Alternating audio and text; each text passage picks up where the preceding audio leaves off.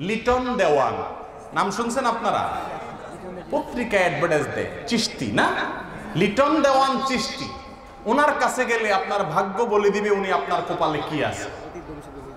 আরে বাপরে বাপ। অতীত? অতীত তো সবাই জানে। যাই হোক, অতীত, বর্তমান, ভবিষ্যৎ, সব জানে। কে? লিটন দেওয়ান। আর আল্লাহ কোরআনে বলতেছেন, আলিমুল গাইবি ওয়াশ শাহাদা। আল্লাহর পরিচয় হলো আল্লাহ তালা ভবিষ্যতে কি হবে জানেন? ভবিষ্যতের জ্ঞান আল্লাহ ছাড়া আর কারও এমনকি নবীদেরকে যদি কেউ মনে করে যে তারা ভবিষ্যতে সবকিছু জানতেন, কোন বুজুর্গকে আল্লাহর কোন অলিকে নেককার মানুষকে যদি মনে করে তারা সবকিছু জানতেন ভবিষ্যতের, তাহলে এটা হলো আল্লাহর সঙ্গে শিরিক করা, যেটা শুধুমাত্র আল্লাহর জন্য, ওইটা অন্য কারোর জন্য করলে এটা হলো আল্লাহর সঙ্গে শিরিক করা, আর আল্লাহর সঙ্গে শিরিক করা হলে বিহি, আল্লাহ তালা সেই অপরাধ মাফ করবেন। যদি কেউ মনে করে অমুক পিসা হুজুর ভবিষ্যৎ জানে, অমুক বাবায় ভবিষ্যৎ জানে, লিটন দেওয়ান চিস্তি ভবিষ্যৎ জানে, তাহলে তার ইমান থাকবে?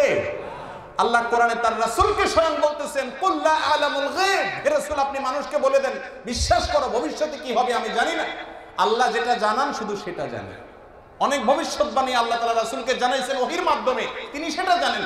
নিজে থেকে ভবিষ্যৎ তিনিও যদি জানতেন তাহলে উহুদের ময়দানে আমার রাসূলের উপরে যখন আঘাত আসছে, কোন দিক থেকে আসছে তিনি তো জানতেন, তাহলে তিনি সরে যেতেন। কিন্তু তিনি আঘাত পাইছেন কি পান নাই? কষ্ট পাইছেন কি পান নাই? ভবিষ্যৎ জানলে এটা হতো না। লিটন দেওয়ান চিস্তি পেটে পাড়া দিলে সুরে ফাতেহা বাইর হবে কিনা সন্দেহ এই বলে ভবিষ্যৎ জানে।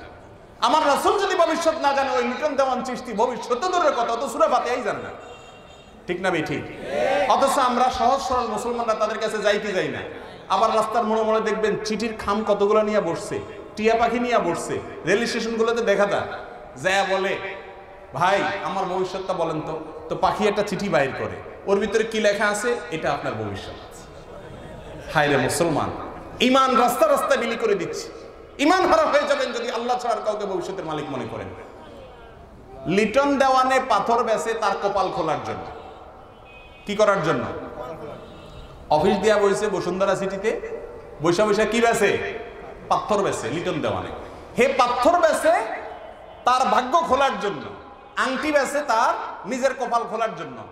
আর আপনি তার কাছ থেকে আংটি কিনে নিজের কপাল খুলবেন। আপনি কত নম্বরের বেকুব শুনেন? যদি আংটি এটা পড়লে কপাল খুলতো, তাহলে ওই লিটন দেওয়ান দোকান না দিয়ে আংটি সবগুলো পরে বসে থাকতেন ঠিক না, ভাই, ঠিক?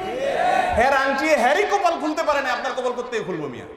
আপনার কপাল খোলার মালিক কে? আল্লাহ সুবহানাহু ওয়া তাআলা। ঠিক না ঠিক যুগের মানুষেরা এই গণকদের কথা বিশ্বাস করত, সেই জিনিসটা আমাদের মুসলমানদের মধ্যে এখনও আছে, এটা যুগের স্বভাব। আল্লাহ আমাদেরকে বেঁচে থাকার তৌফিক দান করুন। ভবিষ্যতের জ্ঞান আল্লাহ ছাড়া আর কারও?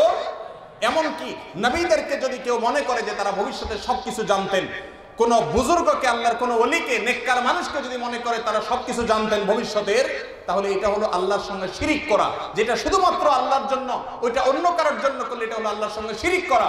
আর আল্লাহর সঙ্গে শিরিক করা হলে আল্লাহ তালা সেই অপরাধ মাফ করবেন। যদি কেউ মনে করে অমুক পিসা হুজুর ভবিষ্যৎ জানে, অমুক বাবায় ভবিষ্যৎ জানে, লিটন দেওয়ান চিস্তি ভবিষ্যৎ জানে, তাহলে তার ইমান থাকবে? আল্লাহ কোরআনে তার রাসূলকে স্বয়ং বলতেছেন, কুল্লা আলামুল গায়ব হে রাসূল, আপনি মানুষকে বলে দেন, বিশ্বাস করো, ভবিষ্যতে কি হবে আমি জানি না। আল্লাহ যেটা জানান, শুধু সেটা জানেন অনেক ভবিষ্যৎবাণী আল্লাহ তাআলা রাসূলকে জানাইছেন ওহির মাধ্যমে। তিনি সেটা জানেন।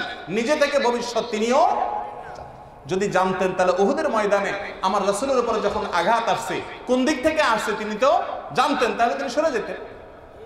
কিন্তু তিনি আঘাত পাইছেন কি পান নাই? কষ্ট পাইছেন কি পান নাই? ভবিষ্যৎ জানলে এটা হতো না। লিটন দেওয়ান চিস্তি পেটে পাড়া দিলে সুরে ফাতে ফাতেহা বাইর হবে কিনা সন্দেহ এই বলে ভবিষ্যৎ জানে। আমার রাসূল যদি ভবিষ্যৎ না জানে, ওই লিটন দেওয়ান চিস্তি ভবিষ্যৎ দূরের কথা, অত সুরে ফাতেহাই জানে না। ঠিক না ঠিক? অথচ আমরা সহজ সরল মুসলমানরা তাদের কাছে যাইতে যাই না। আবার রাস্তার মনে মনে দেখবেন চিঠির খাম কতগুলো নিয়ে বসছে, টিয়া পাখি নিয়ে বসছে, রেল স্টেশনগুলোতে দেখা যায়। যা বলে, ভাই, আমার ভবিষ্যৎটা বলেন তো। তো পাখি একটা চিঠি বাইর করে। ওর ভিতরে কি লেখা আছে? এটা আপনার ভবিষ্যৎ। হায় রে মুসলমান ইমান রাস্তা রাস্তা বিলি করে দিচ্ছে। ইমান হারা হয়ে যাবেন যদি আল্লাহ ছাড়া আর কাউকে ভবিষ্যতের মালিক মনে করেন। লিটন দেওয়ানে পাথর বেসে তার কপাল খোলার জন্য। কি করার জন্য? অফিস দিয়া বইছে বসুন্ধরা সিটিতে। বৈশা বৈশা কি বেছে? পাথর বেছে, লিটন দেওয়ানে। হে পাথর বেছে তার ভাগ্য খোলার জন্য। আংটি বেছে তার নিজের কপাল খোলার জন্য।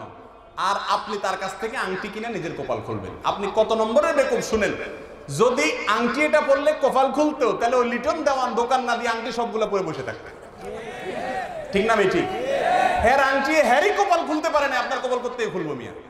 আপনার কপাল খোলার মালিক কে?